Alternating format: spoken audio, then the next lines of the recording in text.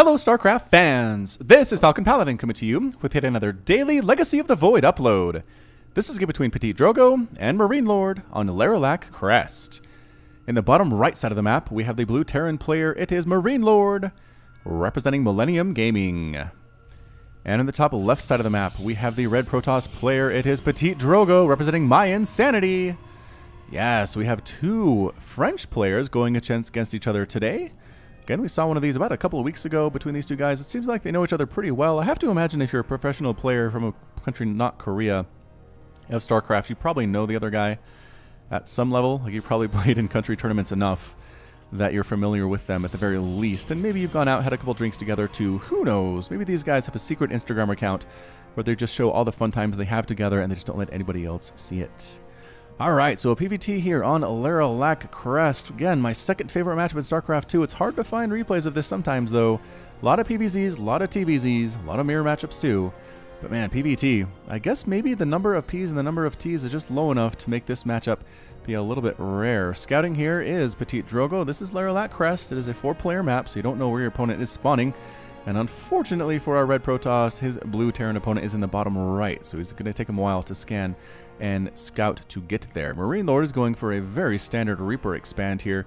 Ready, set, Reaper, bam, Reaper on the way. And a one gate expand here from Petit Drogo. There's the gateway and there's the expand.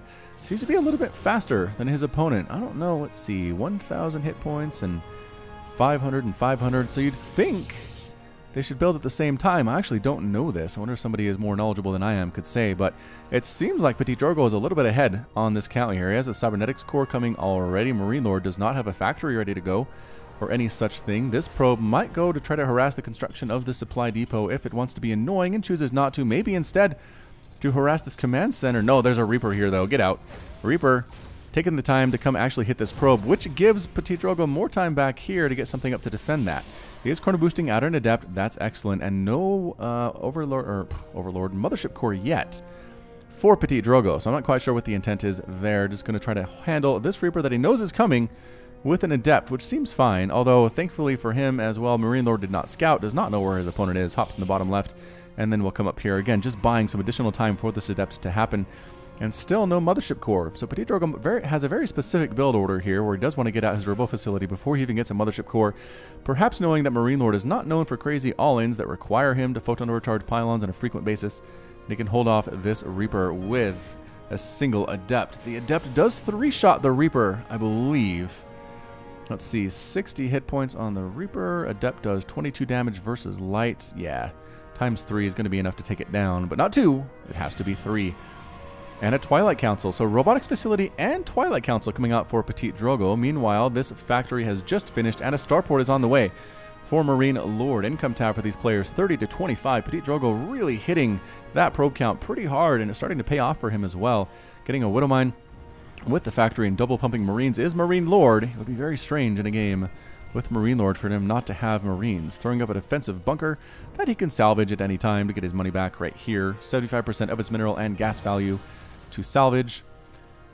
And yeah, just happily mining there. This Stalker has the shortest patrol path ever. In about three minutes or so, it's going to throw up and keep going. All right, Twilight Council used to get Blink Robotics Facility used to get an Observer because that's the first thing you always do as Protoss is get an Observer first. So useful to have this thing. And a third Nexus on the way for Petit Drogo, so definitely trying to out-expand and out-macro his opponent so far, and you know what? It might be working. 38 to 32 supply, army supply is definitely favoring Marine Lord, but as long as that just sits here in Marine Lord's base, it doesn't really matter. And as I say that, Marine Lord says, oh, you think I'm one of those players who just sits in my base? It's time to move out with these Marines, and he's going to try to do it too. Observer is going to miss this information, which I feel like would be very, very useful to have. Observer here checking to make sure, giving just giving some warning time for Petit Drogo as, yeah, Petit Drogo doesn't have anything. He has a Stalker and an Adept. This might be a bad experience for our Red Protoss player. Observer comes in, sees what's going on, sees there's a Liberator coming out there based on the fact that there's no reactor. That would be my guess. And a factory here, too, with tanks coming out. All right, here comes some Marines. It just seems like a little late for a straight-up Marine push. Especially because Mothership cores are so good. Ah, Widowmine drop at the back. Cannon, not a cannon. Not a cannon. Here comes the Widow Mine drop. One. Boo-hoo. one and two. How many kills? One and two. Hey, so only three kills on those Widow Mines. And here comes the Marine follow-up. Pushing right on up here. Do they want to take care of that pile? And I think that'd be their target first of all. Mothership Core is here. Can it throw down the Photon Overcharge? The Marines don't want to come too far in because then they're trapped by that overcharge. Good scan. Oh, they pick up the Observer. Nicely done by Marine Lord. Well played there.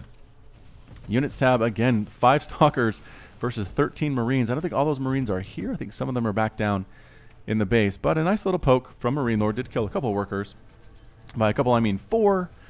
Uh, no, three. Did kill three. The one kill was from actually up here with the Reaper earlier on. Alright, so still no cannons in the mineral lines. I guess Petit Drogo, I mean, do we want to say that was luck? That was luck. The Widowmine drop didn't kill more of his workers, or did he position his probes well enough to prevent a massacre from occurring? That is a mystery. That is a mystery, ladies and gentlemen. Stalkers heading forward here. No upgrades on these guys. Not necessary. Double forge on the way, so they will be upgraded at some point. But this Liberator with Defender mode, get it. Get the Liberator. Yeah, getting right on up there and sniping down that Liberator, losing a Stalker. And that's about it. Trying to take down that bunker to at least force it to start burning. No, going to stay in here and get rid of another Liberator and then blink out. All right, I think keeping a Liberator count low for your opponent is definitely worth a bit of a poke there from Petit Drogo. Resources lost here 650 versus 900 in favor of the Protoss player. And again, that third base was so much earlier than Marine Lords was. Income tab 61 to 52, even with Petit Drogo losing four workers throughout this game. Really chrono boosting out that resonating glaives upgrade. Did they change that icon? Nah, it's always looked like that. Attack speed of Adepts increased by 45%. Planning to get some Adepts mixed in here. I don't think he has any yet. Uh, he has the one. He made the one, along with two sentries. And a Warp Prism. Woohoo! Warp Prism shenanigans. Here we go. Special tactics on the way as White-Ra has coined them. Adept, Drop, and Warpin on the way. Stalkers gonna try to blink on here too, get some work done. And they do. They blink right on in. Try to get some shots off. Good pull of SCVs though by Marine Lord. Get him right to the corner. All of them manage to survive. The Stalker is going to blink their way out as soon as they can, and they do. Meanwhile, Warp Prism trying to sneak on down here while everybody is distracted and get up into the main base. Oh, here we go. Petit Drogo with the Adepts going to get in here, and there is a missile turret, but dropping the Adepts immediately. They do three-shot SCVs and another Warp and another round of Adepts trying to do what damage they can and getting SCO, taking out the workers that are building these barracks, going to delay those pretty darn well, picking up a couple, sacrificing a couple more to the gods of Marines and Marauders. Going to try to kill as many SCVs as they can before they transfer on out, and they do transfer on out here. SCVs once again running for their lives, losing more and more workers. Another attack down here of Stalkers. Whoa, this harassment, this two-pronged, three-pronged harassment working really well for Petit Drogo, taking out every single Marine. There's a tank on the high ground doing extra damage versus these Stalkers, but I don't know how much it actually matters. These guys are still alive. Okay, almost still alive. Adept ends up with two kills there, too. The Stalkers do want to get the heck on out. Warp Prism gets just across that ravine where the Marines and Marauders cannot follow. Well played indeed. 24 workers killed by Petit Drogo right there. 24, losing some units too, but still fewer than his opponent, Marine Lord.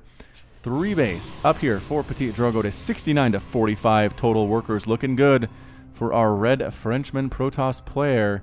Looking very impressive indeed. Coming back in for round two with Warp Prism attacks. He's actually keeping Marine Lord on the back foot for the first time. Marine Lord is usually very aggressive and a very good Terran player indeed, but Petit Drogo here, man, just absolutely keeping him stuck on these three bases. He's forced to leave Marines and missile turrets out. He's forced to, I, I mean, nothing up here, I suppose, which might be a problem later, but the Stalkers are just setting up a bit of a contain, allowing Petit Drogo to drop a fourth base of his own. I haven't seen any drops even from Marine Lord. How many? He has three medivacs, which is good, but I think he feels like he can't afford to actually head out. He needs everybody home to deal with this aggression that is coming so consistently from our Red Protoss player of My Insanity. Alright, Templar getting into the mix too. Immortals starting to pop on in. Plus two ground weapons, plus two ground armor, concussive shell. Nope, just kidding. That's, uh, yeah, it is concussive shells. Being researched by the Terran player. More Marines, more Marauders, more Liberators, and an armory. Getting mixed in two for that plus three, plus three that is oh so good for Marines and Marauders. So good. The Stalkers finally decide to take down these rocks. So they feel like it is in their best interest to do so.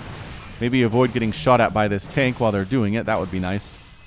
And they do manage to take it down. I can't imagine Marine Lord will mount any serious opposition to this. Oh, and he does actually. He kind of feints on in and forces the Stalkers back just a little bit. That cooldown on the blink is 7 seconds, which is nice. They can already blink again should be enough to keep them mobile and safe. Defender mode circles set up just in case Petit Drogo tries to come through here. I don't know that he's planning on it. He's really focused on taking this fourth base, not allowing Marine Lord to get his own. 69 to 61 Harvesters, but I think Marine Lord is a little oversaturated maybe? Yeah, a little bit there. Not so much there. I guess it was the fact that he lost. How many workers was that again? 24? 24 SCVs killed during that amazing multi-pronged harassment by Petit Drogo. Blinking on out again. You can blink and dodge concussive shell attacks from Marauders. They're stemmed up and they catch a they catch a Stalker. That's the thing with Stalkers, man. They hit hard, but they are fragile. They get hit there by a few Marauders and a few Marines. They will die quickly. This is a lot, though. Blinking on in. Blinking forward is Petit Drogo. Trying to snipe down those Liberators. Getting one. No, not able to get two. Great concave from Marine Lord, but here come the Immortals. Here comes the Storm. Wait, do they have Storm? They have Storm.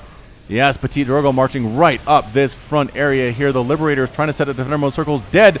Feedbacks on the Medivacs too, taking those guys out. No Medivacs to heal these guys up at all. How many are left in this game? None. No Medivacs for Marine Lord. That's a huge stinking deal. And trying to sneak down this way is Petit Drogo with this single Warp Prism. Takes some major hits, but warps on in here. Gets the Adepts in, warps in another round of Adepts. These guys have plus two, plus two, and the upgrade with Resonating Glaives. And here comes the army to try to deal with this. Just going to go ahead and Psionic transfer their way to somewhere else. Oh, they get blocked, though, by Marine Lord. But meanwhile, an attack at the front base. Going to finally finish off those rocks. And another attempt, another warp in. As these Adepts are holding their own pretty darn well, even with that nerf to their attack. Going to kill a lot of Marines, a lot of Marauders here. The push up to the front. Here we go. Storms on the Liberator, taking it out. Another couple Liberators trying to set up another big storm on the bio and taking out the Liberators almost as soon as they can set up that Defender mode circle. Another Warp into Stalker taking out this base here too. Does not look good for Marine Lord at all, but he does have a lot of Marines and Marauders. Plus one, plus one, plus two, plus two. Not quite there yet. I feel like that would help Marine Lord a lot, but not actually in the cards for our Blue Terran player. Archon morphs into the front door and just gets absolutely killed here. But this third base by Marine Lord is likewise destroyed. Not looking good. Stuck on two bases is Marine Lord down 132 to 99 total supply. Resources killed, workers killed 44 by Petit Drogo to this point. It's 69 to 41 total workers, pushing up last stand by Marine Lord. He does have a couple medivacs here, a bunch of tanks too. Tanks pretty good against the Stalkers. If he can get the Stalkers, no, they blink forward with the Immortals in the back just tearing through everything. 12 kills on that Immortal, and that's it. A GG from Marine Lord. Marine Lord is defeated, Petit Drogo is victorious, and Marine Lord has left the game. Boy, howdy, what an absolutely epic performance there by Petit Drogo. Out expanded Marine Lord, out harassed Marine Lord, out straight up walked in there and just crushed Marine Lord. Upgrades were better, income was better, base count was better, and Petit Drogo takes it today. Impressive all the way around. All right, so that's it from me. This has been Falcon Paladin with yet another daily Legacy of the Void upload.